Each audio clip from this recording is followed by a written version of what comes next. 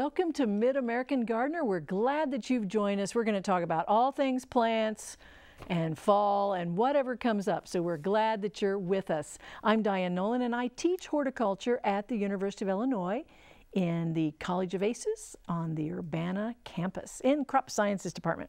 All right, let's find out who's here. There are three really knowledgeable people right next to me. Let's find out who they are and maybe answer some email questions as well. Let's start first with you, Mr. Chuck Voigt, Professor Chuck Voigt. Good evening, Dianne. Hi. I am Chuck Voigt. I'm in the Department of Crop Sciences like Dianne is. Uh, I teach home horticulture, uh, so that's pretty broad. My, my real specialties are vegetables and herbs, so those would be things that I could talk about all pretty day. knowledgeably. Yeah. Uh, I brought in something we've talked about before. Mm-hmm. I decided I needed to try colored cotton this year. Uh, so I started them in the greenhouse. Didn't get the degree days I would have liked, but we're finally starting to see some of them. I had three browns, two greens, and and one that, that just conventional.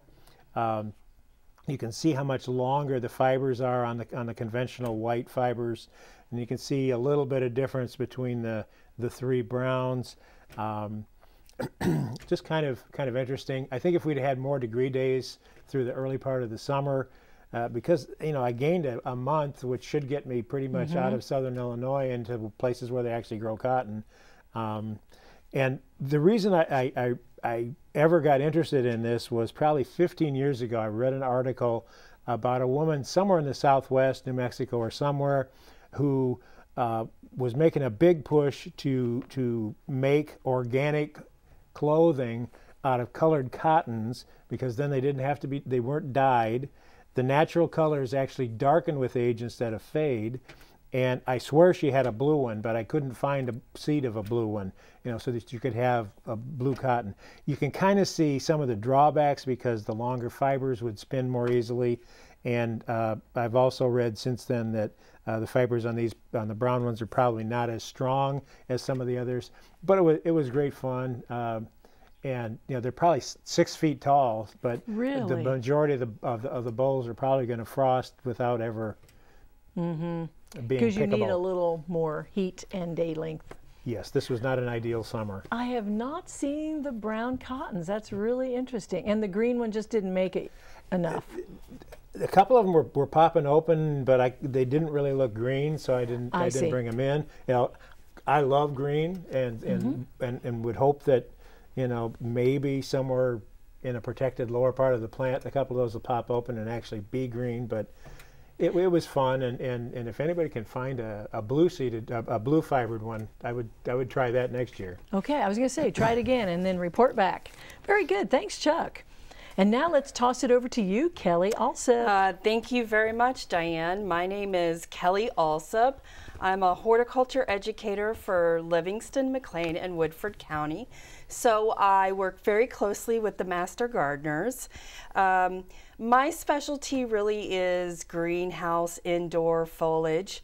Um, I love talking about insects though, and today I'm going to talk about one particular insect called brown marmorated stink bug. This is a invasive insect.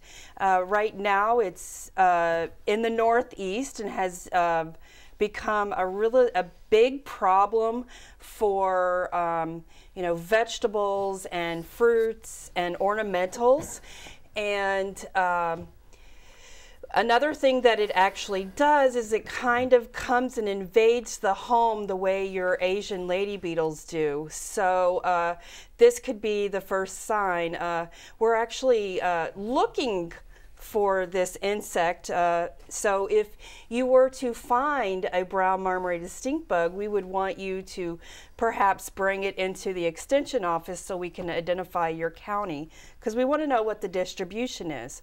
Well, there's some uh, particular identification characteristics that you can see.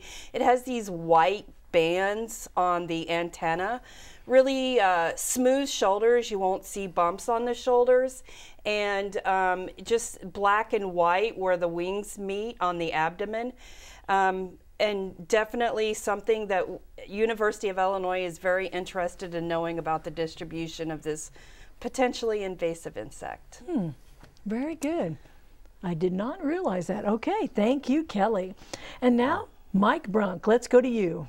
Okay, I'm Mike Brunk. I'm the Urbana City Arborist, uh, the community's tree consultant, if you will.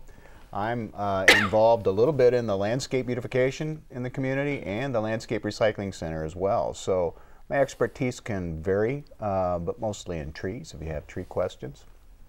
And uh, I have a, a, a letter uh, from a, uh, a viewer that um, has a question about his dying apple trees.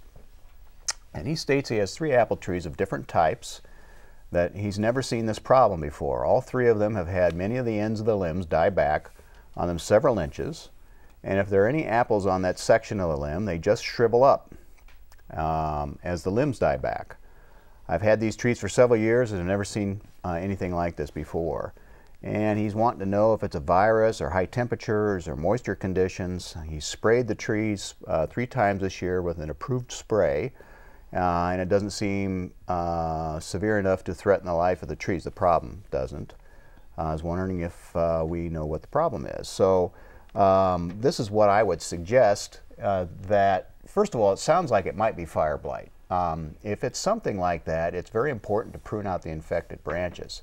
But before you do that, you really need to find out exactly what the problem is. So I would call the University of Illinois Plant Clinic at 333-0519 and they can give you guidance on one kind of uh, what uh, type of sample and what size sample to bring in. Usually it shows some of the infection but they want some live tissue as well and they can ID that problem and then you can uh, accurately know what you have and know what and how to treat it. Okay, very good advice. They're always ready. I don't know when they close, but do they stay open They're open to all year now. all Yep, year? all oh, that's year. wonderful. Since they moved into Turner Hall, they're there the whole time. Excellent. Thank you for asking, answering my question. They're right down the hall from me. so I- Okay, very well done. Well, next we want to go to a Did You Know segment. To make one pound of honey, bees must tap two million flowers. And we thought we were busy. that is busy. Well, we want to find out what you have for questions for us today. So let's go to Don's question on line three, and he's got a plant question for us. Hi, Don. Hi. Uh, listen, we've been uh, wondering if you experts out there can help us with the names of uh, some grasses out south of uh, Curtis Road, and it's west of Philo Road. Okay, I think I've Yeah. got people whispering to me, so all of you can ask answer the question. Well, it's it's probably in in the area of the energy farm where they've grown a lot of, of, of grasses for biofuels. The the biggest, r- rankest looking one is is is giant miscanthus. Uh, They also have considerable switchgrass there, which is a, which is which is a native uh, prairie grass, and then smaller plots of a whole lot of other things, as well as some woody plant material. That's Was the there. giant miscanthus the one our colleague collected um, and went overseas to collect? Was that the But largest one? probably when when biofuels were hot before gas prices went down, um, they, they were I think that was the one collected in Korea. right, Yeah, I was one of our colleagues did right, that. because it's it's a it's a sterile hybrid, mm-hmm. and and they were trying to get some breeding material on both sides so that they could make some new crosses and see if you know what what they could you know. Mm. Horticulturists like to tinker, so Yes, we do. Well, that was a good question, and and all three of the panelists knew, and and I just drove by them today. Oh, you did? Okay, great. Well, if you see really, really tall grasses, that's probably the giant miscanthus. Well, thank you, Don, for your question. Let's go to Barb's question. She's on line four, and it's about hardy mums. Hi there, Barb. Hi there. I, I watch your program all the time, Thank you. but my my question is, uh, I've planted hardy mums on the east side of my house, and uh, I've been told that they they won't come up next year because they. Uh, uh, I, I live in the country, and they're te- uh, my friends are telling me that uh, they need a lot of sun. But when I read my uh, little uh, tag that came with the mums, it said it needed some sun, not not all day sun. My question is, will they come back next year? And so, Barb, you already have them planted right now? Yes, I do. I think for hardy mums, and Kelly's going to jump in too because I can tell, but for hardy mums, the main thing is planting them early, mm-hmm. giving them enough sun, and it doesn't have to be a full day. But a lot of people plant them in the middle of November, right before Thanksgiving, and they don't get root development. So planting them early is probably on your side for them coming back. Now, Kelly, take it away. Add your two. I concur with you. I think uh, you know when we when we have the moms available, it's the inappropriate time to plant them because there's not enough time for them to make it through the winter. And if if if people actually get them through the winter here in Illinois, it it was a mild winter or they put them in a protected location. So, uh, you know, if it's right up against your house, it might it might make it through the winter. But yeah, I agree that you know, full sun is better. You'll get a leggier plant with less sun but uh, it'll still flower and you're yeah you have a chance of it coming back but maybe it won't so May and June is that the early time to plant if yeah, you can get find them? Season is the ideal time. Yes, mm-hmm. but if I see them in September and I get them planted, I'm going for it. But I did go as late as October, first of October, and, it, and I mulched them heavily. But if you leave them on the porch until after Thanksgiving, oh, you're kind of up the creek.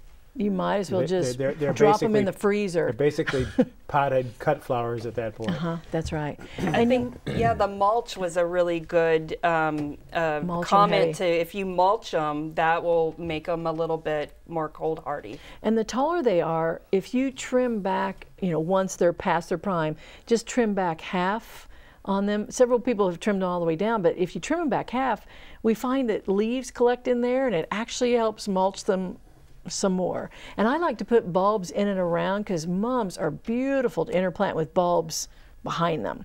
And I don't know if that helps them, but it sure looks good. And I think if you do plant them early, would you uh, deadhead them, or, or, I'm sorry, cut the buds off so they flower later well, in the depends. year? Good question. A, a, lot of the, the, the newer varieties have kind of been selected so that they're almost self-pinching, so you mm -hmm. get a, a globe shape just naturally if you get some that, that aren't like that, then the recommendation usually is, is to keep pinching out the tips until a, around the 1st or the 4th of July. Right. And then let them go because if, if you pinch them much beyond that, then, then the flower buds may not set up in time to, to, to mature. Okay.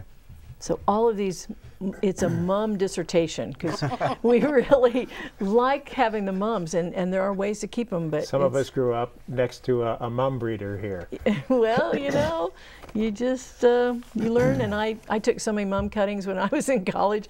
Yes, it was exciting. So mum's um, a word. oh, someone had to do it. Thank you, Mike. Yeah, Phil wasn't here, so Mike had yeah, to do might, it. might as well have someone. All right. Well, thank you for that question, Barb. Let's go on to Donna's question. She's on line five, and it's about clematis, or is it clematis? It's clematis for me. Donna, hi. Are you there, Donna? Line Actually, five. I think that it's Kathy. Oh, it's a question about um, spider plants that have been out all summertime and bringing okay. them in and not bringing in spiders. Oh, okay. So I can tell this is a Kelly question, possibly. Bringing your plants in and not bringing in critters. Is that the first thing is is what's wrong with spiders? I knew she might say I, that. I actually like spiders. Um, you know spiders are great for getting rid of some of the insects but you know when i bring my plants in i do check them for insects. If i do have an insect issue i might do an insecticidal soap before i bring them in or I might just spray them with a hard water spray just to rinse them off and that would definitely get the spiders out of your plants. Mm-hmm. But just because they're called spider plants doesn't mean they're prone to having spiders all over them. No, no, no.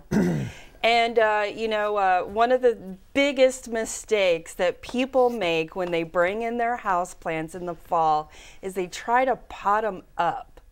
So don't we wait till the spring to pot them up Mm-hmm. because they're they're not going to be actively growing. They're just going to be sitting around a little bit. And try to put them in the sunniest spot you can find.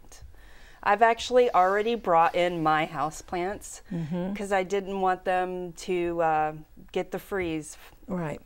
Yeah. Yeah, that, that's a mistake people make with some things is they leave them out too long, and, and they're already damaged by the chilling. So when you bring them in, uh, they're already two steps on the road to the compost heap. Okay.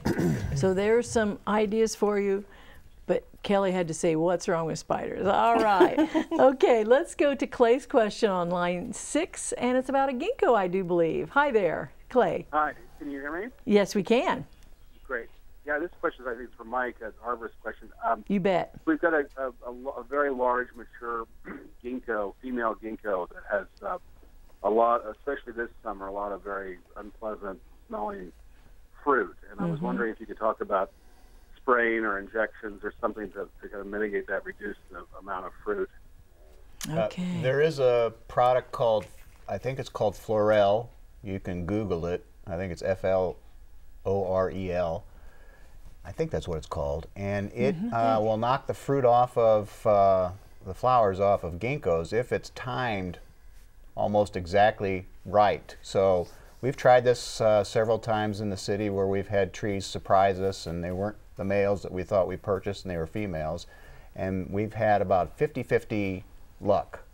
So the timing is uh, key, uh, and it's when the flowers are first starting to emerge. And I think there's like a three day window, and so you really have to keep a tight eye on that, and you have to time it correctly to, to knock that off, and then you uh, will not have fruit that year. But you have to spray it every year. It's doable. Okay, so if hopefully the tree flowers all at the same Now, time, if, it's too. a, if it's a large ginkgo tree, you're, you're almost going to need a professional tree sprayer to get Right. the, the uh, pressure uh, uh, to cover the entire tree with the spray. Okay, so Clay, there's there's hope for you. I remember parking my bike and not realizing I had run over them, and then having to step in them. Yeah, it's there's a- exciting. A, female in a bicycle parking lot east of Davenport Hall here on campus, Mm-hmm. where they just get squished and oh yeah, get that. it's a memorable experience. You know, if you can, it, it may, well, this is more creative, but if you can imagine that the smell's not so bad, maybe you can train the senses to Okay. not being so. It's Uh, an it's an important Asian medicinal herb. Mm-hmm. So So there you go. All right. Well, It's a toughie. That's It's a- right. Thank you very much. And let's go to Anne's question on line three, and it's about uh, peonies, I believe. Hi, Anne. Yes. What's your question? I cut my, my tree peonies down like I do my other ones. Oh, They have beautiful flowers. that would be a giant no. okay. I was looking at Chuck. That's so no. Do not They're cut called back. tree peonies because they have that woody stem that they need to keep, and also uh, next year's buds are kind of involved in all of this. The only thing you ever want to cut off of those is anything that dies and last year's flowers, so that they don't they don't try to make seeds or whatever. But the tree peony basically needs to stay there. If it starts to get so huge that you can't stand it, then kind of immediately after flowering, you could probably take it back a little bit. But basically, that the woody stems on a tree peony need to stay there. Okay. So that was a giant no. Okay, let's go to our panelists, and we're going to do another round of emails. Okay, I've got a, a couple of caterpillar questions here. Uh, the first one is I saw this caterpillar on my parsley, and what kind is it? And that's a fairly easy one. It's that, that, that black and yellow wonder that, that, that gets on all the plants in that family. It is the, the larva of a black swallowtail. And if you have enough parsley or whatever that you can stand to lose some of the foliage, it, it's a great way to get some butterflies moving around in the garden. Uh, the other caterpillar question that I had, uh, this uh, she thinks it's a silk caterpillar. It's about four four and a half inches long. There are white things on it, and it's on a tomato plant. Well, what that is is uh, tobacco hornworm, that's been parasitized by a wasp. And this it's a really interesting little wasp because it lays one egg and that leg egg within within the body of, of the caterpillar divides multiple times so that you can get 32 or even 64 from one single egg that's laid and they kind of eat their way around inside the caterpillar and and kill it off. And then when they get ready to pupate they all bore their way out out through the caterpillar's skin and and, and do that to it. So if you have those on, on your tomato plants and and don't want uh, tobacco or, or tomato hornworms uh, on them, uh, leave that there, and then the next generation of, of those wasps will come out of those cocoons and can help help you uh, with control on that. The other thing is tobacco hornworm is much more common than tomato hornworm. So most people, what we see and call tomato hornworm because we see it on a tomato is really tobacco Is hornworm, tobacco. and that's that's a Phil Phil Nixonism that I'm passing along. Very interesting. I'm sure that is true because it looks exactly like what we see. Okay, thank you, Chuck. And now Kelly. Okay, I have a question from Maxine from Chatham, Illinois. And she asked a question about um, Oriental lilies. Um, she bought some that were white with red, light pink, deep rose. Um, they were beautiful, but um, a year later, they she comes back. They bloom bright yellow. And so, uh, one of the things that I do think is going on here is those are reverting back to their old genetics. They're not, the genetics of those are not stable enough yet. And we see that a lot with, let's say, um, like uh, coneflower, where you get all these new, really pretty kinds, orange, and all of a sudden, we have, uh, you know, a year later, they've turned back to the traditional pink. So I think that that is what's going on is they're reverting back to their original genetics, and sometimes that happens in the industry. And that's a shame for what the colors you actually wanted. Okay. Kelly, thank you. And now Mike. Okay, I have a pear tree question, and it is um, this um, person has a semi-dwarf Bartlett pear. it's uh, my second summer with it, and I haven't had a single bud. So uh, he's asking, or she, uh, do I need another pear? Um, I was under the impression that I didn't need this. Uh, I didn't with this variety. Um, if not, do I have any ideas um, about the tree? So uh, Bartlett is purported to be a self-fruitful variety, uh, but there's some question there to whether it really is or not. Um, but first of all, I think your tree's only two years old, so I think it's very young. So don't expect it to flower or have fruit at this age. Wait a couple, maybe even three more years. Um, is the tree in sun? So you'll need full sun for a tree to fruit. Um, and uh, if you're uh, fertilizing any around the tree or if you're fertilizing the tree, don't fertilize the tree uh, or around the tree with uh, nitrogen fertilizer. That can uh, produce more growth and less flowers. Uh, let's see. So um, the other thing you can do is self-pollinate the tree. So you may need to cross-pollinate, and it's not going to. It's going to help the tree uh, set a heavier crop of fruit, so it won't hurt it. Uh, so in order to do that with a semi-dwarf variety, you would want to find another European pear that you could put within 20, 25 feet. And uh, if you didn't have bees, if that was the problem, you could uh, manually pollinate it with a little paintbrush from one tree to the other. But I would first wait for a few years and just have some patience and see if the tree will fruit its, on its own because it's supposed to be self-fruitful is what they call it. And um, it may just be a little young. So, and, and it definitely won't set fruit if it doesn't have flowers. Right. Yeah. right.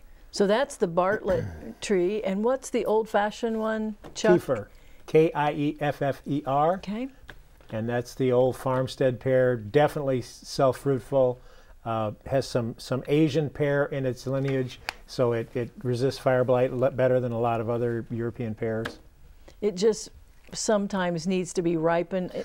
Yes, it needs to be ripened off the tree, or you get a lot of stone cells that can kind of gritty when you try to chew it up. But the flavor on a Kieffer is, is probably four times as, as intense as, as the flavor in a Bartlett. There you go. So it's a better better choice if you're going to try a new tree. Might might So when you get to Kieffers. pears given to you for gifts, you put them in a brown paper bag, let the ethylene or anything that you want to ripen, let the ethylene work its thing. And, oh, Yeah, if they Pears soften so off the great. tree, they're, they're, it's hard to beat them. oh, it is really worth it. So the viewer has us wanting to get pear trees now that we've talked about them. And, and there's lots of varieties. So she was asking good questions. Well, that was great. Thank you to all of our viewers. You ask us really good questions, whether we get them emails or however, we ask you to keep it up. Well, we want to thank you for watching and we hope that you continue to have a great week gardening and we'll see you next time. Goodbye.